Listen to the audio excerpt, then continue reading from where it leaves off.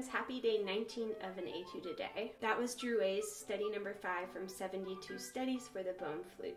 It's short and sweet and very simple, but I think it's the perfect length for 11:30 on a Saturday night. But I hope you guys are having a great weekend and I will see you all tomorrow for day 20.